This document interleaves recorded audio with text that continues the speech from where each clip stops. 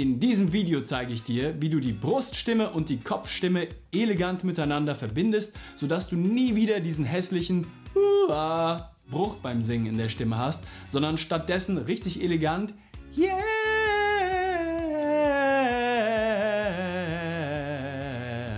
die beiden miteinander verbindest. Aua. Ganz einfach.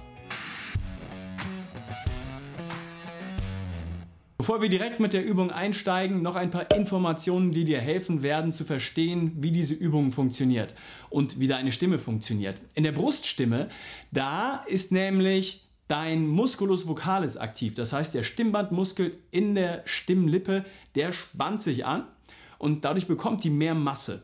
Die wird so ein bisschen dicker. Das ist so eine zopfartige Muskulatur und dadurch wird die dicker. Es muss also mehr Masse bewegt werden in der Bruststimme beim Singen. Und gleichzeitig ist es so, dass deine Stimmlippen sich auf ihrer gesamten Länge öffnen und wieder schließen. Und diese Vibration, die dann noch zusätzlich entsteht, die nämlich in die Stimmlippe reingeht, die geht auch ganz tief in die Stimmlippe rein. Das heißt, kurz gesprochen, ganz einfach gesprochen, du hast viel Masse beim Singen in der Bruststimme, in deinen Stimmlippen. In der Kopfstimme hingegen ist es so, wenn du in der Kopfstimme singst, dann entspannt sich der Musculus vocalis, das heißt, die Stimmlippe verliert an Masse. Die Stimmlippe ist sehr gespannt, oder beide Stimmlippen sind sehr gespannt und sie schwingen nicht mehr bzw. öffnen sich nicht mehr auf der gesamten Länge, sondern nur noch so ungefähr auf einem Drittel ihrer Länge. Das heißt, da wird schon weniger Masse bewegt. Und die Schwingung, die geht immer mehr an die Randkanten der Stimmlippe. Das heißt, auch die Vibration geht nicht mehr so tief in die Stimmlippe rein. Wenn wir das Ganze also ganz einfach nochmal zusammenfassen, dann hast du in der Bruststimme viel Masse, die bewegt wird und in der Kopfstimme wenig Masse, die bewegt wird. Das ist wichtig. Was passiert also in deiner Stimme, wenn deine Stimme bricht? Die Koordinationen, die dafür zuständig sind, die Muskeln, die daran beteiligt sind, das alles neu einzustellen, den gesamten Apparat hier im Kehlkopf, ja, die machen einfach diesen Massewechsel, diese Veränderungen zu schnell, zu abrupt und dadurch hast du dieses ja, anstatt dass das in einer sanften aua,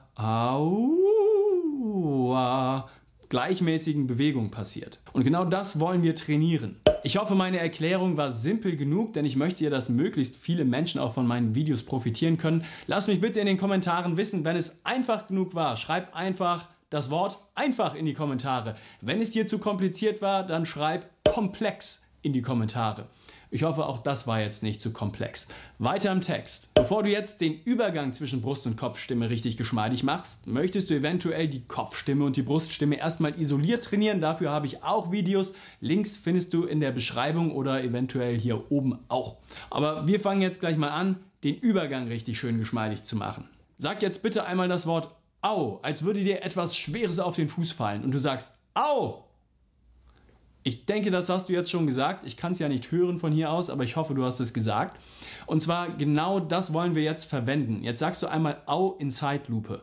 Au, au, au. Probier das ruhig ein paar Mal aus. Und wir wollen nämlich genau diese Vokale benutzen, um den Übergang schön geschmeidig zu machen. Um den Wechsel zwischen Brust- und Kopfstimme für dich richtig, richtig gut zu machen. Und zwar benutzen wir in der Bruststimme den Vokal A, weil der erfahrungsgemäß für die meisten in der Bruststimme leichter zu singen ist und den Vokal U in der Kopfstimme oben. Und dann schleifen wir einfach mal von der Bruststimme ausgehend einen Ton hoch. Das heißt, du fängst einfach in einer Lage an in der Bruststimme, in der es für dich gemütlich ist. Für mich zum Beispiel.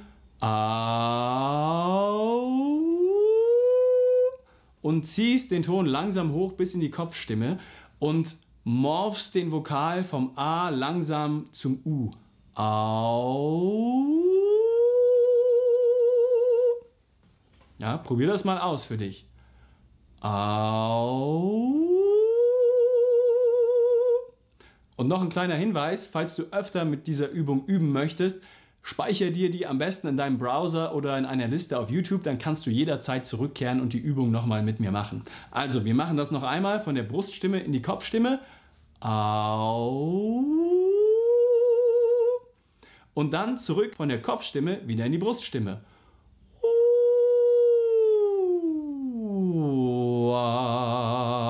Wenn deine Stimme jetzt im Übergang doch brechen sollte und der nicht so richtig geschmeidig geht, dann ist es oft so, dass du einfach zu laut dabei bist. Ja, wenn du mit richtig großer Lautstärke hier anfängst, au, au, ja, dann bricht die Stimme. Au, genauso umgekehrt. Funktioniert nicht so richtig. Stell dir mal Folgendes vor. Stellen wir uns so eine, wie heißt das nochmal, eine Sanduhr vor. Ja? Eine Sanduhr und mach mal mit mir, mit deinen Händen so eine Bewegung, als würdest du eine Sanduhr nachzeichnen in der Luft. Ja, die ist nämlich hier oben, ist sie ein bisschen breiter, dann in der Mitte, da wird sie schmaler und hier unten wird sie auch wieder breiter und in der Mitte, da rieselt der Sand durch. Ne? Und so ähnlich können wir uns unsere Stimme vorstellen und du dir deine. Hier oben, ja, da hast du also den großen Bubbeln, da ist die Kopfstimme. Und da kannst du auch in der Mittellage mehr Lautstärke entwickeln. Ja, relativ einfach. Und hier unten hast du die Bruststimme. Yay! Und gerade in den Mittellagen ist es hier relativ einfach, viel Kraft und Lautstärke zu entwickeln. Aber dazwischen, im Übergang, das habe ich jetzt, glaube ich, eh schon ein paar Mal gesagt, der wird auch Passaggio genannt in der italienischen Gesangsschule. Und Passaggio heißt so viel wie Durchgang. Und ein Durchgang ist ja auch immer schmaler als der Platz dahinter. Der ist schlanker. Und so ist es hier auch. Und in unserer Vorstellung, da wo es schlank wird, ja, da sollten wir auch ein bisschen leiser werden und im Idealfall, wenn es am Anfang noch nicht klappt, das bruchlos zu machen, im Idealfall wirst du da einfach langsamer und leiser und du wirst einfach so viel langsamer und leiser, bis du es irgendwann mal schaffst, da vollkommen nahtlos und schön elegant durchzukommen, durch den Übergang, durch das Passaggio.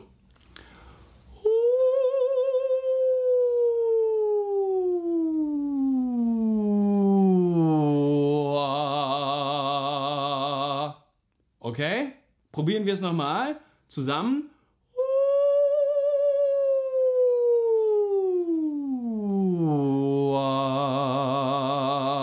Und umgekehrt geht das Ganze natürlich auch aus der Bruststimme.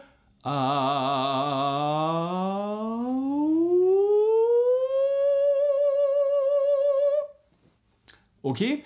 Diese Bewegung, das soll dir nur helfen, dir das vorzustellen. Du musst nicht jedes Mal die Bewegung beim Üben machen, selbstverständlich. Kopfstimme und Bruststimme kannst du noch in den Videos, die ich hier irgendwo verlinkt habe, trainieren. Ansonsten Fragen in die Kommentare, abonnieren und Glocke aktivieren.